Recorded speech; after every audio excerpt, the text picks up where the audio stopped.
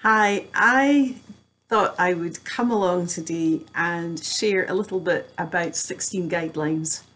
16 guidelines is a really easy to use framework and it is so easy but so powerful because it can really change your perspective.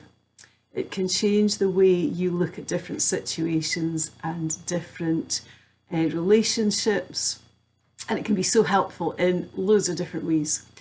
I have used it now for several years and we are delivering a few courses coming up over the next few months. There's an online course um, online, uh, let's see, at the end of April, and then a face-to-face level one course, which I'm so excited about at uh, Haddo in Aberdeenshire in June. And then the subsequent to that, you can do a level two if you want, and that's going to be online in May with a face-to-face -face one in August. So 16 guidelines. There's 16 of them. They're divided into four. They're divided into four categories of how we think, how we act, how we relate to others and how we find meaning. And there's there's lots and lots of different ways we can use um, use the guidelines and use the handbook. But the easiest and um, the way that I think most of us use it in day-to-day -day life is we use these cards. And what we do, there's 16 for each of the cards. Um, and the cards, the guidelines themselves include things like patience, contentment, um, honesty, gratitude, service, courage, that those sorts of words, those sorts of terms. Um, so day to day, um, and I do it as well at the beginning of every month um, for And Breathe, but I'll sit and contemplate the day ahead. Let's, so let's do that today. Sit, think about the day ahead. Things for me have changed a bit because the snow is here and it's bitterly cold.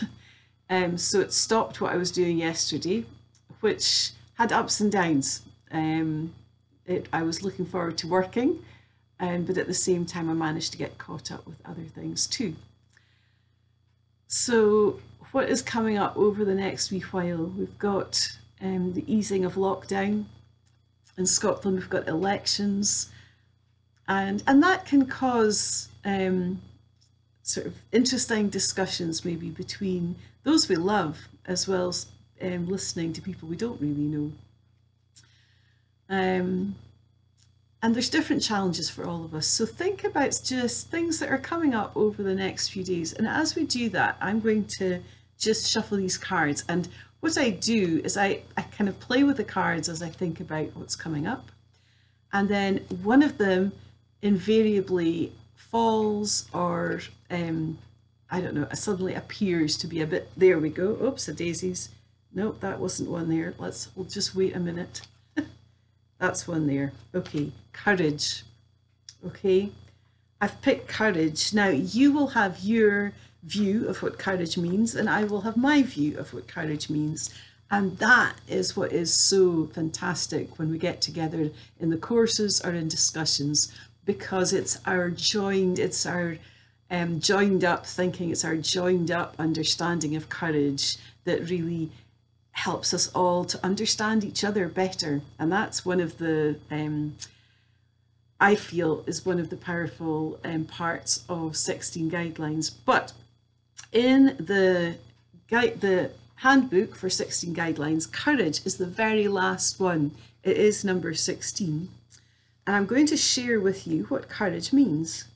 And then you can think about courage over the next few days and how that's going to influence what you do and what you say maybe. So courage.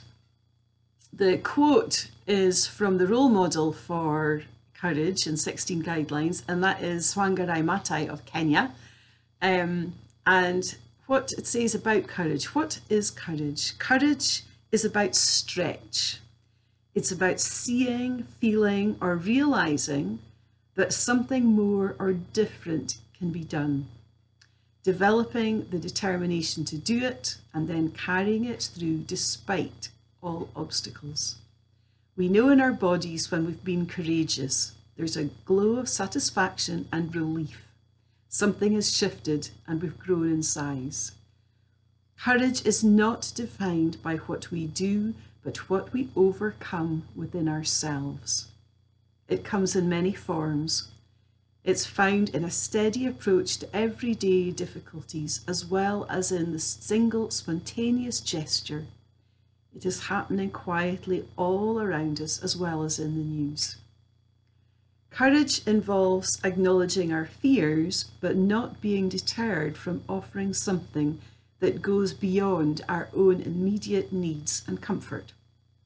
Most courageous people have decided that the well being of others is more important than their own and have allowed this decision to drive their actions and the way they live. Invariably, they seem to find their own happiness in the process. So just allow those words to filter through over the next few days and, and just see if it changes anything that you're thinking or doing or what you're planning.